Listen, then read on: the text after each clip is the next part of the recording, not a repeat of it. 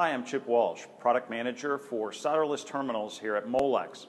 Today I'm here to talk to you about a segment of our solderless terminal products called our Quick Disconnects, but more specifically, a special type of quick disconnect that we recently developed, recently launched, called our Quixon.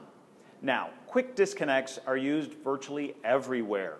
They're used to connect a wire to a barrier strip, a wire to a device, devices like contactors, relays, switches, and the like. Well, there are many forms of quick disconnects, but the most common is the quarter inch or 6.4 millimeter tab. Now, specifically, I want to talk about Quixon.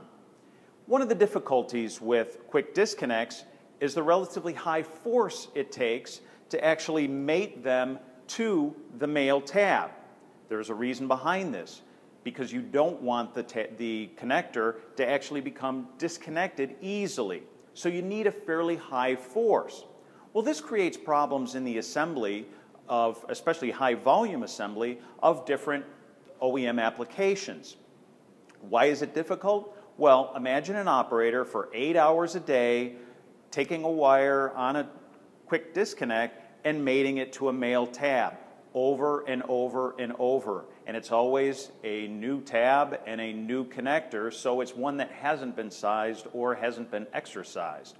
Well, over time this becomes tedious and very, very tiring for the operator. Well, what we did was develop the Quixon. Now, it looks just like any of our other quick disconnect terminals, except what's special about it is what's inside. The actual terminal itself. We changed the design from a standard quick disconnect to make it easy to put on, hence the name Quixon. We have a raised floor right here, which is kind of a cantilevered beam. This flexes when the, when the quick disconnect is put onto the male tab, making it easier, but once it's mated, it's difficult to come off. We also allowed for blind mating in an application. Not always does an operator have an easy access to the male tab. So we provided side relief cuts on either side so that you can mate the Quixon at an off angle. You don't have to be perfectly straight. Now, we offer Quixon in uninsulated, partially insulated, or fully insulated varieties. We have them from 18 to 22 gauge to 1210 gauge. 18 to 22 is the red, 1614 blue, 1210 is the yellow. We also provide them on mylar tape or metal strip or continuous strip for high volume termination.